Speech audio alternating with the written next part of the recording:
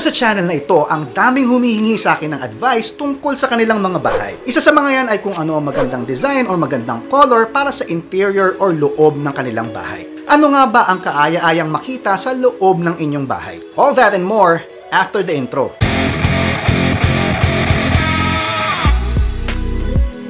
Recently, I got the chance to visit this model house by a well-known developer.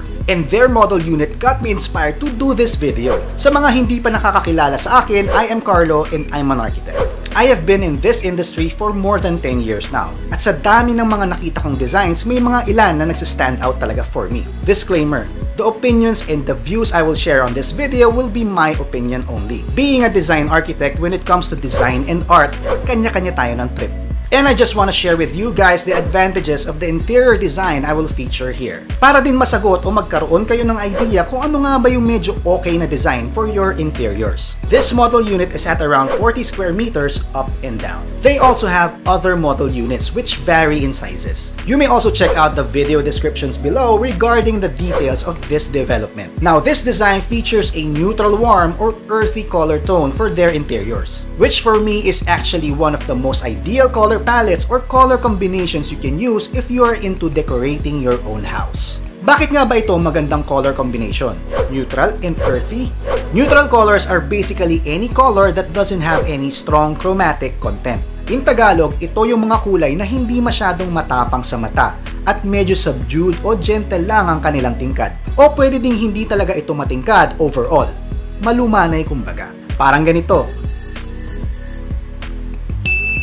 Ang mga neutral colors kasi ay hindi masakit sa mata, lalo na kung araw-araw mo ito makikita kasi dito ka nakatira. Kaya malaking bagay na gumigising at umuuwi tayo sa mga kulay na malumanay lang sa mata para hindi ka nabibigla sa bawat dilat ng iyong mga mata. Again, this is my opinion only. I know that there are some of you guys who prefer brighter colors and that's okay. Kayo naman na nakatira sa loob ng inyong bahay. By the way, if you are liking this video, kindly hit that thumbs up button. Ano pa nga ba ang ibang advantages ng ganitong color scheme? When it comes to choosing furniture for your house, most of the furniture in the market will be available in these colors. Neutral and earthy colors are mostly in wood tones, kaya feeling mo you are one with the earth. Grounded kumbaga. Okay din naman kung ang preference mo ay parang one with the heavens. Darating din naman tayo doon in the future, di ba? Pero that's in the future. But for now, dito muna tayo sa lupa. Dahil uso na din naman ang mga plantito at plantita, this color also goes well with greens. Kaya naman adding indoor plants surely complemented the design of this model unit.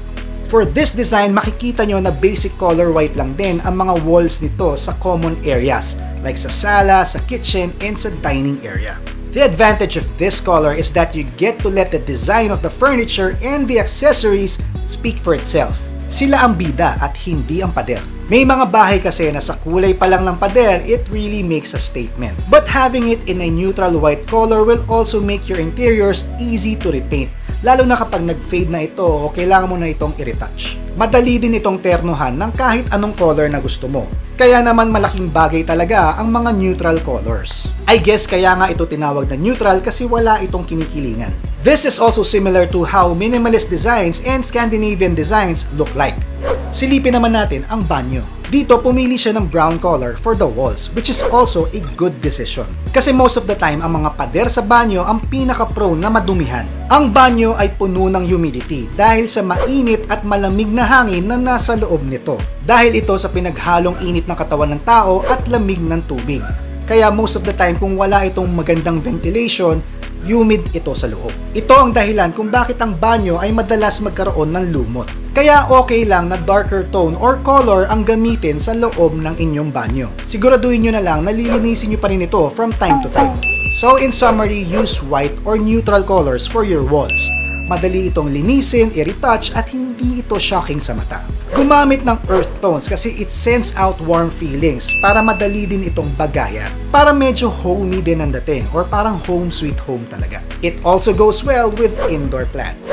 Dun sa mga nagtatanong saan itong housing development na ito, I will show it at the end of the video. Bago yon, please hit that subscribe button at idamay mo na din ang notification bell icon to keep you updated on my latest posts. Pwede mo ding i-share ang video na ito sa mga kakilala mong nangangailangan ng architectural tips, advice, lessons, and know-how. So do watch out for more future videos kasi sa channel na ito, may future.